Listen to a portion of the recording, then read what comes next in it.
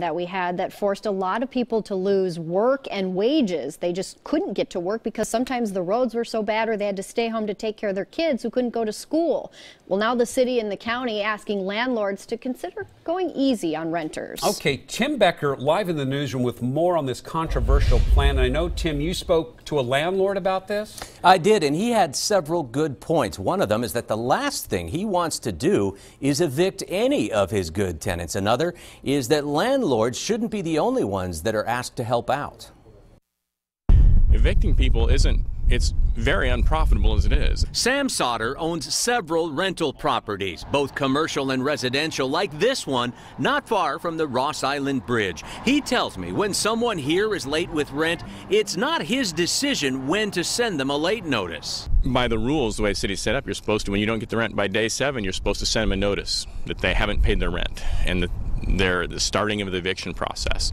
We showed him this open letter to landlords asking them to possibly waive late fees and work with tenants who may come up short on rent because of wages lost during the extensive business and school closures during January's wicked weather. It's signed by Mayor Ted Wheeler and Multnomah County Chair Deborah Kafoury the city of Portland and Multnomah County have put unprecedented amounts of money into keeping people housed um, so we're, we're asking everyone to help as well. We know we can't do it alone. We need landlords to help. To me, in some ways, it's picking in the landlords, but for our, for our own tenants, if we have a tenant that has a need, we would certainly help them out.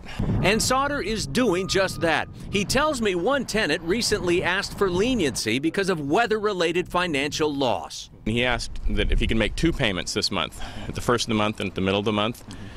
And I responded by saying, How about if you just make the whole payment in the middle of the month and we'll waive the late fee? He says it is just good business, and so he wonders why this letter isn't addressed to more than just landlords. I don't have, hear them asking PGE to cut back on their ridiculous PGE bills. Sauter says, you know what, even if somebody was two weeks late on rent, he probably wouldn't begin any sort of eviction proceeding simply because it takes so much time and money. As for that city county joint effort, they say that if anybody is worried that they might get evicted, to go ahead and call 211 and ask for help. Back to you.